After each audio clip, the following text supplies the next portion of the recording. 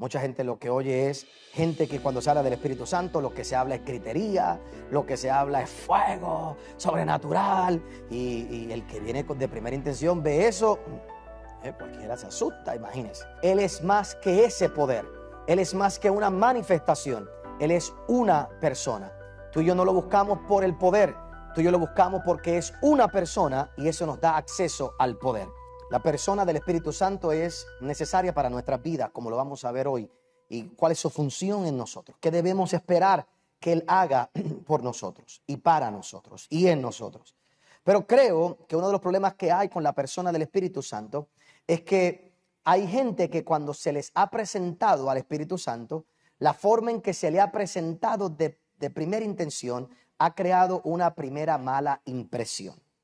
Todos los que estamos aquí, en alguna ocasión, se nos ha presentado alguna persona y de repente cuando te presentan esa persona, la primera vez que lo conoces te cayó mal. No te gustó, no te agradó, dijo algo, hizo algo que tú dices, eh, esa persona es insoportable. Y por alguna razón, a lo mejor tú estabas molesto ese día o esa persona dijo algo incorrecto, simplemente la primera impresión fue difícil. Pero toma fuerza de voluntad tuya y toma entender que esa persona es importante para volverlo a qué? A encontrar, para darle otra oportunidad, para ir y salir con él o salir con ella, volver otra vez, eh, esperar otro momento.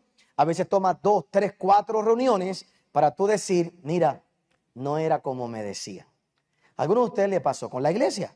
Algunos de ustedes le decían de Fuente Agua Viva, mira esto, mira aquello, mira lo otro. y a lo mejor esa es la impresión que tú tenías.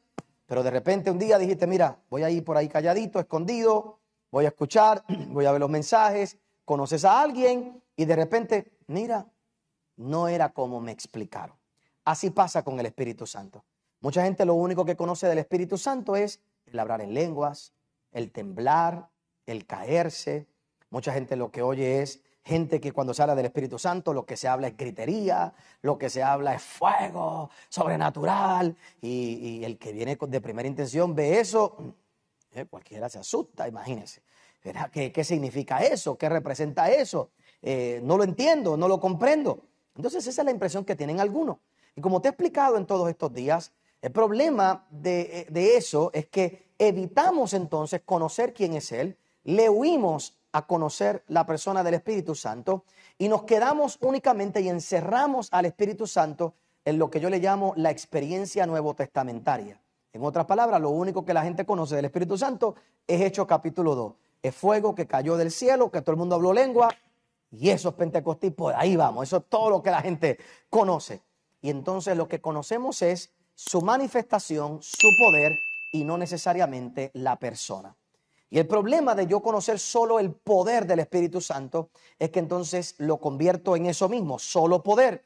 Y ahora tengo mi relación con Él solo para usarlo solo para usarlo a mi beneficio, usarlo. Y sí, hoy tú vas a ver qué cosas Él quiere hacer en tu vida. Pero lo que tienes que entender es que Él es más que ese poder. Él es más que una manifestación. Él es una persona. Tú y yo no lo buscamos por el poder.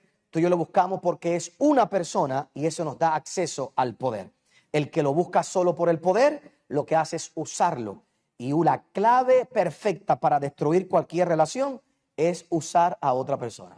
Si tú no creas una relación con la otra persona y solo lo usas para tu conveniencia sin crear esa relación, esa, esa relación va directo a la destrucción. Y eso es lo que le pasa a muchas personas con la persona del Espíritu Santo.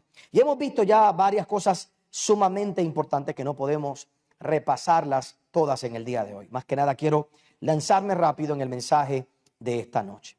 Cuando nosotros vamos al libro de Juan capítulo 20, en el Evangelio de Juan se hace esta expresión bien importante.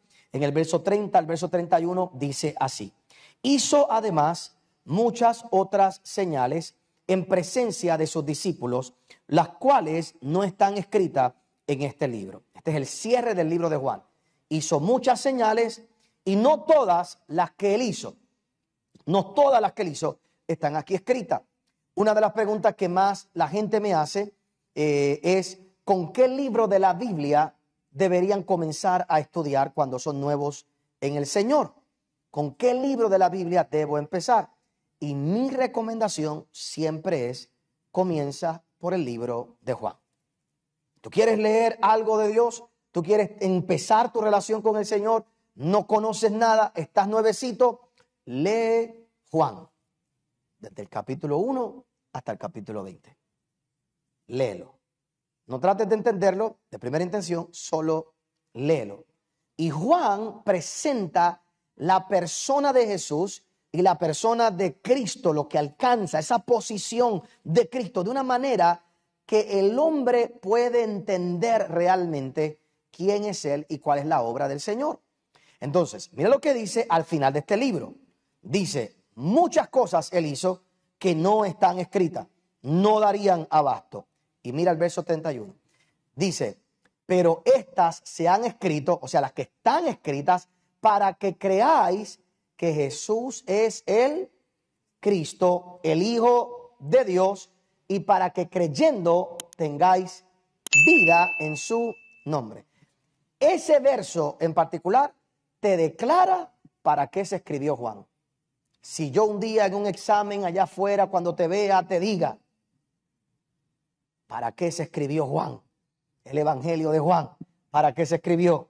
Se escribió para que creamos que Jesús es el Cristo, el Hijo de Dios, y para que creyendo tengamos vida en su nombre. Por eso es que te dije que creo que una persona que quiere conocer de Jesús, que está empezando, Juan es el libro perfecto. Porque Juan te lo va a presentar como el Hijo de Dios. Te lo va a presentar como el Cristo. Versus Mateo, que te lo presenta como el Rey. Mateo te lo presenta como el Rey. Entonces es una descripción diferente. No es que está mal, es que es un público diferente. Mateo se escribe para un público diferente y la manera en que se escribe y se nos presenta Jesús es para presentar que Jesús era el rey. Cada evangelista tiene una manera diferente de presentar a Jesús. Juan, el propósito de Juan es todo lo que se escribió, todos los milagros que se escribieron.